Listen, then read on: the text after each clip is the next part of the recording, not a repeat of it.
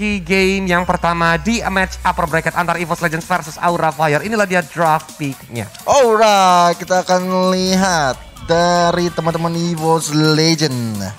Kira-kira mereka akan melakukan band ke mana? Apakah ke hero-hero yang jadi facehugger yang tadi udah sempat kita notice juga hero high ground atau mungkin ke arah hero-heronya Godiva karena ada Chow, ada, Jawhead juga yang cukup strong banget. Bahkan dia sempat pakai Martis sebagai tank, tapi Jawhead menjadi pilihan utama untuk di oleh teman-teman EVOS Legend. Iya, Povius bakal ditutup gak ya? Karena udah kelihatan nih Poviusnya rese banget nih ya. Oh, Apakah uh, Povius bakal ditutup atau nanti udah kayak disiapin? Maksudnya Hmm.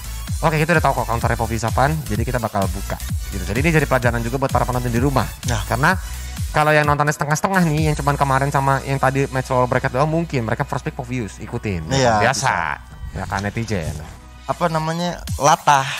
Tapi kan memang eh Gimana ya kalau dari turnamen tuh memang banyak yang bisa dipelajarin Walaupun harus kalian adaptasikan betul. Gak bisa mentah-mentah kalian ton Benar. Balik lagi, ini adalah adegan yang dilakukan oleh para profesional. Don't try this Ya at kan? home. Enggak, kalau seandainya ada tulisan kan kalau kan adegan berbahaya Iya. don't try this at home. Iya. Kalau yang di NMA ini tulisannya don't try this at rank Oh ya, don't try this at ranked. tanpa pemanasan atau kayak ini Benar. dulu, pelajaran terlebih dahulu. Benar. Ya. Minimal ngetes di klasik lah. Nah, ah, kayak waktu itu kan soalnya saya inget banget tuh MPL season yang keberapa ya tutur oh eh, M- M1 M1 M1. tutur pakai Alucard. Oh iya. Iya, rame tuh Alucard Ah, ah. langsung. Dia kagak tahu tuh Alucard counternya banyak. Dia nggak tahu tuh Alucard sebenarnya bisa di pick off kalau misalnya ada hero-hero tertentu. Nggak tahu. Yang penting Tuturu pakai Alucard, gue juga bisa. Iya, ingatnya cuman ini aja. Oke, tuturu per speak. Eh, tuturu pakai alukat saya per speak aja udah. Terima Di kasih. saat pedangku sepek, di situlah ya. Suka-suka aja lah ya user alukat tuh ya. Aduh, aduh. Enggak jelek hero-nya, tapi memang Iya. banyak counternya aja. Benar. Gitu. Tekan Poveus langsung di ban. Betul sekali. Poveusnya langsung di ban. Mungkin teman-teman dari EVOS Legend bisa mengambil ke arah Benedetta atau malah mungkin Aura Fire yang udah mencoba mengambil Benedetta ya nanti. Tapi gini, kalau seandainya kita lihat, One itu kan mantan jungler Ya. dari EVOS Legends itu sendiri. Mm-mm. Dia beberapa season main eh, bermain role jungler dan pernah membawa EVOS Legends menjadi juara M1 ketika dia menggunakan junglernya. Betul. saat ini dia pindah role-nya menjadi mid laner karena Betul. junglernya ada Versik kan. Ya. Dan kemampuan uh, One menggunakan hero-heronya mid laner ternyata gak kalah bagus. Nggak kalah bagus. Iya, karena uh, kemarin dia sempat pakai Hayabusa di Mm-mm. mid lane. Dia sempat juga pakai Parsha, Parsha. di mid lane. Itu bener-bener menggila, bener-bener high mekanik banget. Jadi keinget sama Udil dulu ya.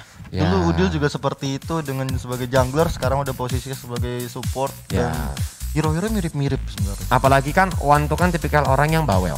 Ya. Jadi uh, seorang mid laner yang baik adalah memberikan informasi yang bagus dan juga bisa membantu shot call ke teman-temannya. Hmm. Jadi uh, kalau dia serasa untuk role dia saat ini tuh masih cocok-cocok aja, cocok-cocok aja. ya Setuju kan? sih. Asal nanti biasa nih, jangan ya netizen ya, inget ya, positif mental attitude. Ya. Jangan nanti malah gimana kalau Versik tiba-tiba nih, ya kan, lagi bad performance Ya. atau lagi turun, ya kan? Padahal Wan-nya lagi uh, kayak mencoba untuk gendong-gendong banget. Udahlah Wan aja yang main jungler, bla bla bla bla. Jangan, Jangan. jangan ya. Kalau ingetin dulu nih, karena kenapa?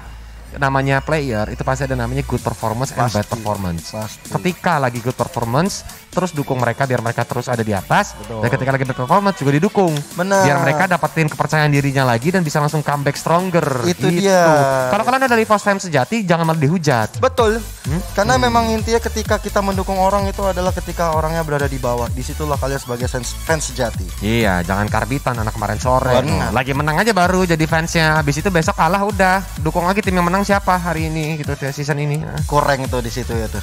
Hauri Hauri tapi kita back to the draft aja Hayabusa wow Rek bakal menggunakan groknya Hmm. Hayabusa bisa dipakai sama Iwan Bisa. Oh, Benedetta ini bisa dipakai sama Versik ataupun dipakai sama anti match. Sedangkan dari Aura Fire dia ngambil tadi Alice dan juga Popolin Kupa di Ya. first pick dan second picknya. Popol Kupa bakal ke arah seorang Godiva dan ada Ruby juga mungkin untuk seorang Keira ya. Bagus sih. Ini Ruby ini bakal menghambat pergerakan dari Hayabusa dan juga Benedetta. Yes.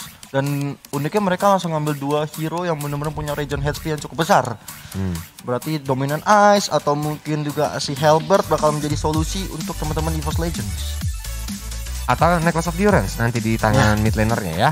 Betul. Lunox udah dimulai di ban dari teman-teman EVOS Legends apa yang bakal mereka tutup. Itu Lunox apa Pakito yang di ban ya?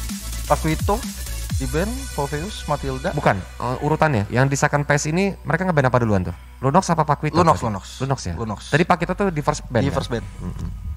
Oke. Harley tadi juga di band di fase pertama. Ini Masuk fase kedua mm, dari Fase EVOS. Legends apa yang bakal mereka tutup kali Link ini? mungkin ya bisa di band. Link bisa di band, Roger bisa, tapi kalau Hike itu biasa rat Hike tuh lebih sering main marksman nih kalau nggak salah kalau bisa.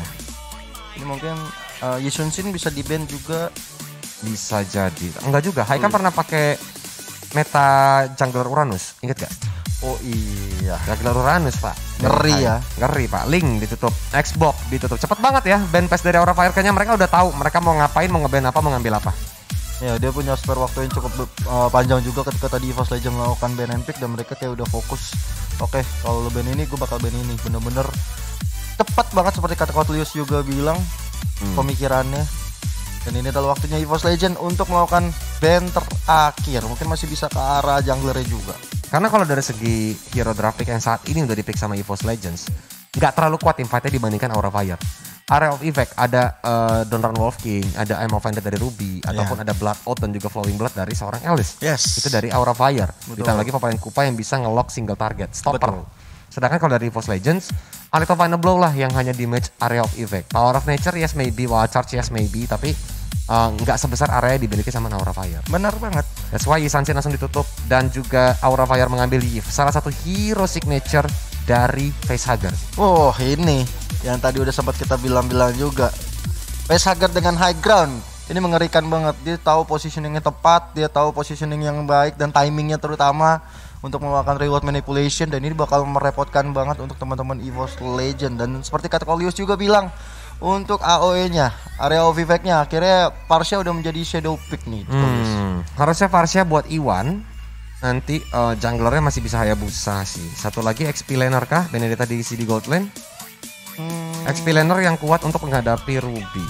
oh, Oke, lap- ternyata tidak. Oh, Benedetta bakal berada di area atas. Bisa jadi juga tahu nggak? apa? Grok Assassin Bukan. apa tuh?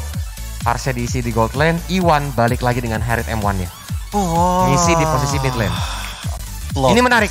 Plot twist tuh. Ini menarik. gitu. Apakah Harriet Iwan bakal kembali langsung aja ditulis di kolom komentar. Yes. Hashtag EVOS Roar jika kalian pendukung dari EVOS atau hashtag Aura Fire jika kalian adalah pendukung dari Aura karena dari draft picknya ini menjadi semakin menarik game yang bakal keras.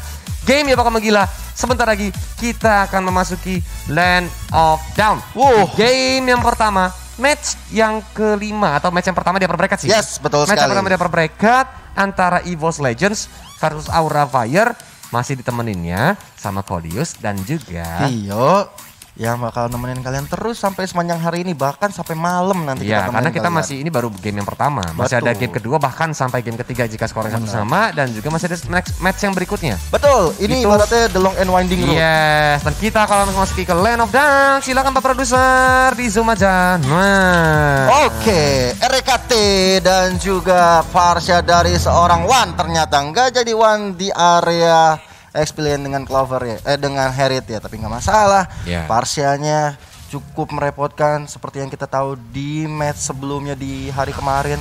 Bahaya Match sekali. pertama di upper bracket kemarin ya. Ini Yes. benar-benar keras pertandingannya di Python Kupa menuju ke arah seorang Wan. Tapi dari Wan dia masih bisa survive aja. Rek pun mencoba untuk bermain sebagai tank nakal yang lupa rumah.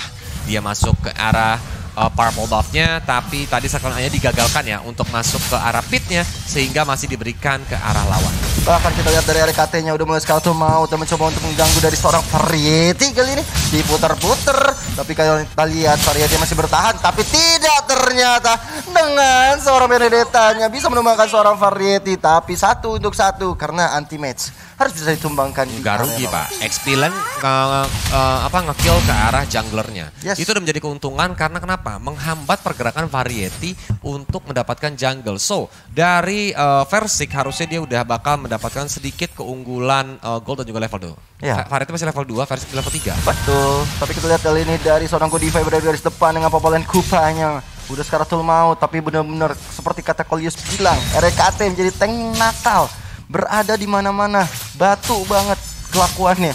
Dan itu membuat teman-teman dari Aura Fire sepertinya harus berpikir ulang, terutama dari variety-nya.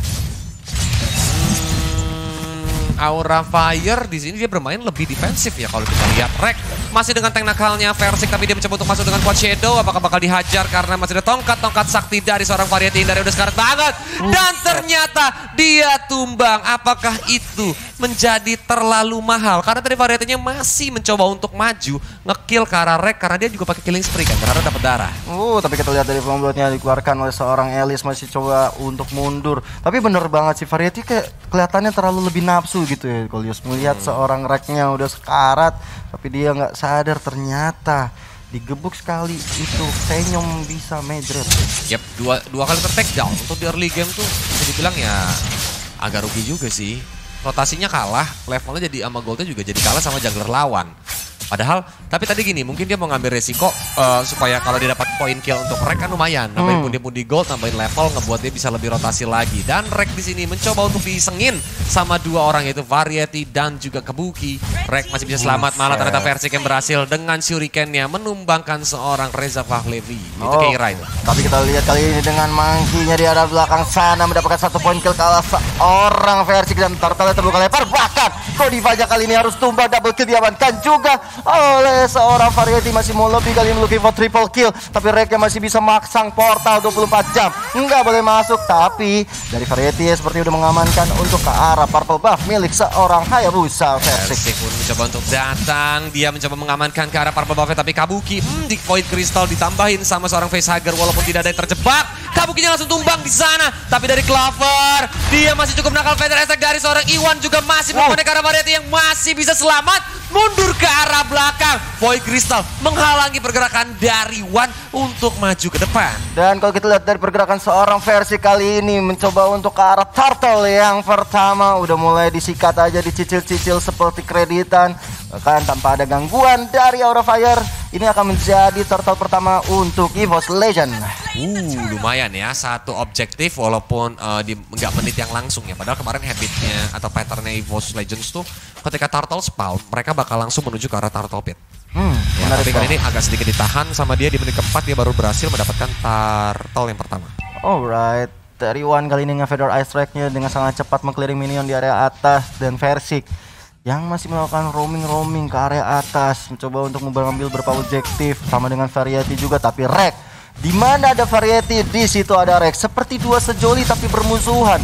Love hate relationship tapi kita lihat dari seorang Variety yang udah mulai di sana tapi sementara itu dengan adanya reward manipulation arah seorang tapi seperti udah kartu maut dari Variety nggak bisa selamat di tangan seorang RKT tapi ada Busa versi juga harus tumbang dari Federal Ice Strike-nya juga nggak bisa menyelamatkan dari teman-teman EVOS Legend kali ini Uh, gila ya. Ini tim fight yang benar-benar sedikit eh, menjadi kerugian gak sih untuk EVOS? Karena satu core hilang, satu mid laner hilang. Walaupun ditukar sama core sama eh, offlane XP laner ya. Iya. Karena Keiranya juga harus di eh, berhasil di take down.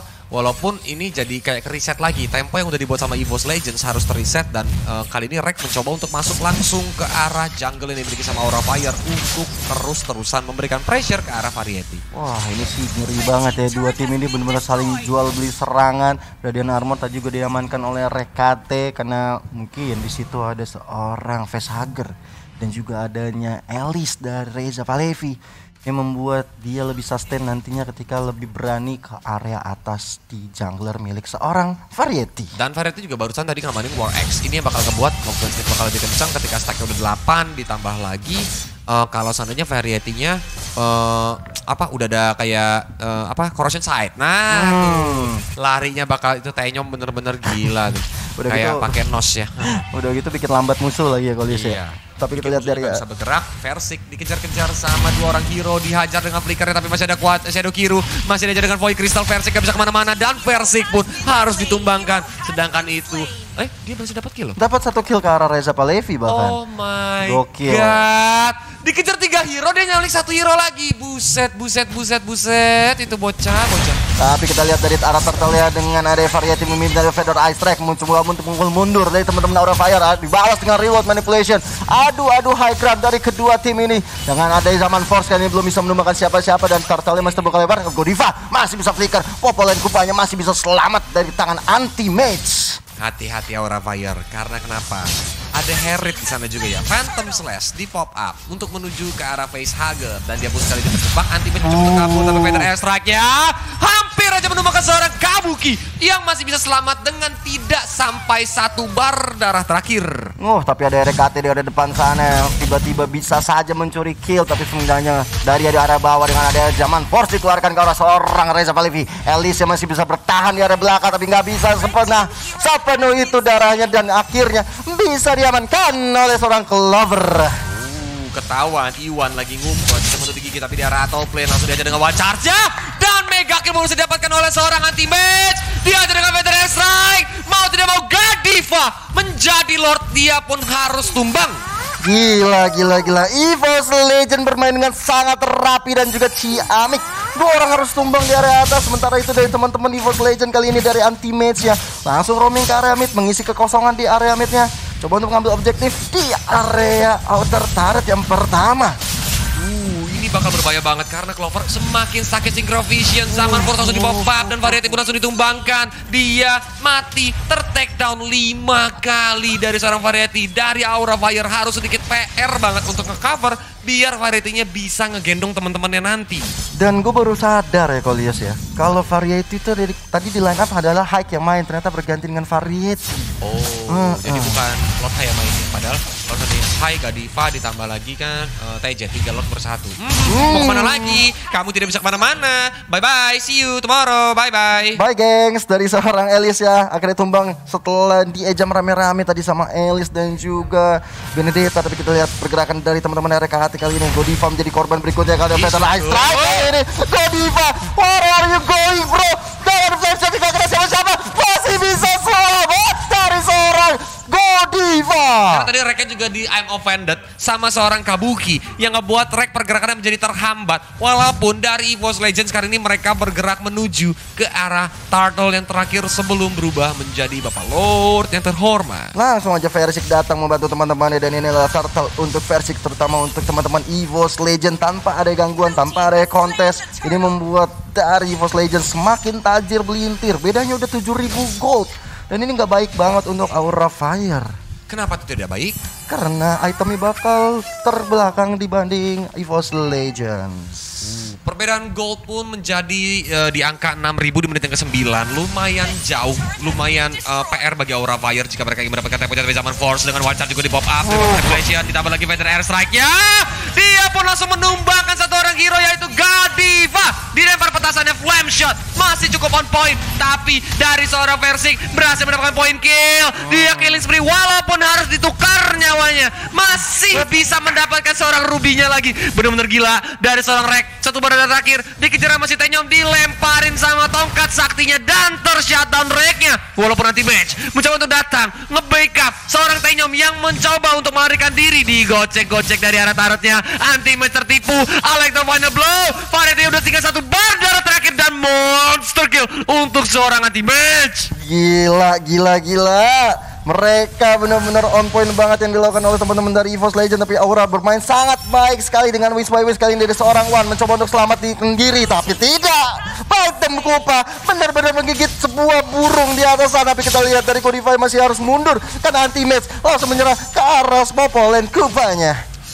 Sakit ya burungnya kena gigi tuh digigit. Waduh ampun, ampun, ampun. Tapi Purple Buff-nya juga mulai dirusuhin sama seorang anti dengan Electro Thunder Blow. Electro anti di dalam keadaan berbahaya. Dia masih bisa mundur ke arah belakang dengan an eye for an eye. Burungnya kena gigi. Itu kan gigi kupa, Pak. Iya, juga, Iya, Pak. bener. Digigit masa gak ada giginya ompong, Pak. Geli, Pak. Itu gusi semua, Pak. Saya traveling Pak, maaf ya. Aduh, terlalu lucu itu barusan.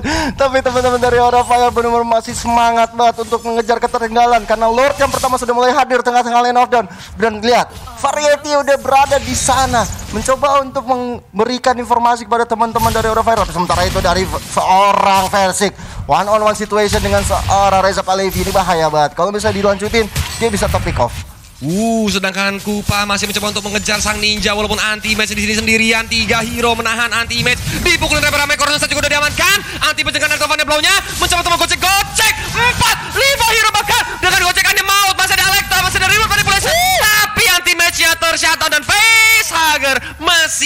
bisa selamat. Tapi buying timing luar biasa banget dari Ultimate sekarang teman-teman EVOS Legend mendapatkan Lord yang pertama. What a play banget dari kedua tim dan itu hampir saja ya Ultimate numbangin face hugger loh. Hampir Iya. banget. Bayangin kalau udah dapat Lord dia numbangin satu hero walaupun harus ditukar sama nyawanya. Itu hero adalah high ground yang dimiliki oleh Aura Fire. Sedangkan kalau dilihat dari itemnya One, dia udah ada Clock of Destiny, udah ada Lightning Truncheon ditambah lagi Holy Crystal. Dan dari seorang Apis atau Klopper, dia udah ada Calamity Reaper, Holy Crystal ditambah lagi Oracle. Ini bakal tebel banget gak gampang kena takedown. Dan Hayabusanya Versik, War X, Endless Battle, Malefic Roar, si Halberd akan menghambat pergerakan dari Kabukinya nanti. Benar benar benar dan tadi kalau kita lihat dari clovernya udah mau menuju ke Feather of Heaven juga dan Lordnya sudah mulai masuk ke area bawah ada voice crystal dari seorang facehugger tapi kita lihat dari saatnya Feather Ice Strike dikeluarkan untuk menumbangkan pemain-pemain dari Eve Aura Fire tapi nggak semudah itu karena ada zaman Force dari Dead Clover Iya. mendapatkan satu poin kill ke arah Bahaya Dan dia benar selamat. merayakan tahun barunya. Dia nggak bisa ke mana-mana. Double kill Tapi dari seorang Keira Mengejar lebih lanjut Clover dari 32 bar. Rek mencoba untuk menggunakan temboknya Menghalangi tapi zaman Forza udah selesai cooldownnya. Dia mencoba untuk lompat-lompat. Versik, Versik, Versik Masih ada Quad Shadow untuk mundur ke arah belakang. EVOS Legends hanya bisa mendapatkan satu base turret dari minion di arah top lane. Eh Versik ya, sorry. Ya. Dari Versik di arah top lane. Dan ini benernya sebenarnya agak kerugian juga untuk EVOS Legend. Mereka kehilangan dua membernya. Dia kehilangan Times, mereka kehilangan One. Sedangkan Variety cukup mahal juga karena jungler yang hilang Kolius. Eh, kalau menurut Kulis malah gak rugi loh Gio. Karena kenapa? Dia dapat satu base turret. Ya kan, udah ke take down, kondisi minion itu semuanya lagi maju, membuat Aura Fire harusnya nggak bisa mendapatkan objektif yang berikutnya. Benar, Jadi ini benar. adalah keuntungan untuk Evo Legends, dia udah bikin satu super minion di arah top lane. Oke, ya benernya di situ.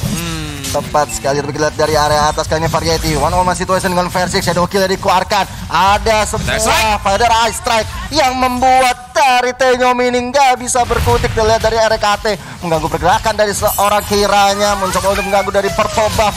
Dan belum ada zaman force yang dikeluarkan Tapi kali ini zaman force ya Masih bisa membuat mundur dari seorang Reza Palevi Dan juga Rek berhasil mencuri purple buff-nya. Ini menjadi grok yang sundulkan, sundulkan cooldown-nya. Jadi cepet banget kan. Langsung dihajar masuk kali ini dengan veteran strike-nya. Reward manipulation. Terjadi pertarungan antara dua high ground. Tapi, tapi, tapi. Keiranya pun langsung ditumbangkan. Kabuki mencoba kabur ke mana karena langsung ditembokin. Antungnya dia masih ada. Eh, Donoran Wolf King sehingga dari Ruby masih bisa loncat ke arah belakang. Sedangkan anti-match gak mau pulang.